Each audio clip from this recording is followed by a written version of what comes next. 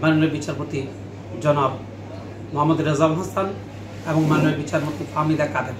এই ডিভিশন বেঞ্চে যখন আগম জামিনের জন্য এসেছিলেন, তখন পিটিশনের পক্ষে অর্থাৎ আসামির পক্ষে যে বিজ্ঞ আইনজীবী মাকরুর রহমান শেখ, বিজ্ঞ আইনজীবী তিনি যে এফআইআর এজাহারে যে বর্ণনা ছিল, সে বর্ণনা, বর্ণনাগুলো সম্পূর্ণ ছাত্রের সাথে গোপন করেছিলেন।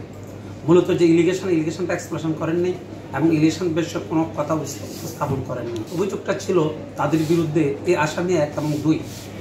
তারা এক এবং দুই এবং তিন নং সাক্ষী, অর্থাৎ এফআইআরের তিনজন সাক্ষী মাথায় তাদের দা দিয়ে তার ডান পাশে যে কোপ মেরেছিলেন, কোপ মারার কারণে তখন এক নম্বর এবং দুই নম্বর, তিন নম্বর সাক্ষী। দুই নম্বর আসামি তদুরূপ সেই কোপ মেরেছিলেন, তারা কিছুদিন হাসপাতালে ছিলেন, ভর্তি। ভর্তি সজ্জার অবস্থা থাকা অবস্থায় তাদের, তখন তারা কী করলেন?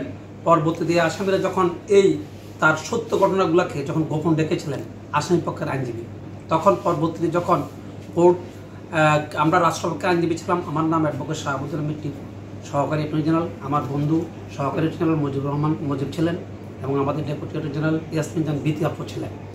তখন এই মামলাটা আমি যখন সাবমিশন রেখে যে মাইলট আমার কিছু সাবমিশন রয়েছে। তখন আমি এই ভিডিও ফুটেজ আপনারা দেখতে পাচ্ছেন এগুলো আসামির। এই আসামি কত খারাপ আর কত জঘন্য। তখন এই আসামির যখন ভিডিও ফুটেজ করি মাননীয় বিচারপতি মহাদর কাছে আমি তুলে ধরলাম যে তাদের ভিডিও ফুটেজ এবং এই মামলাটা তারা যে যে ইনগ্রিডিয়েন্ট কোনো ইনগ্রিডিয়েন্টস নাই বরং এই মামলাটা আসামি ভিক্টিম যে দেখেন আপনারা একটু দেখছি। তার মাথায় তার এগারোটা সেলাই। ভিক্টিমের এগারোটা সেলাই। এভাবে তিনজন ভিক্টিম ক্ষতিগ্রস্ত হয়েছিলেন। তারা হাসপাতালে ভর্তি ছিলেন দীর্ঘদিন। এই সম্পূর্ণ কথাগুলোকে সাপ্রেত গোপন করেছিলেন আসামি পক্ষের আইনজীবী।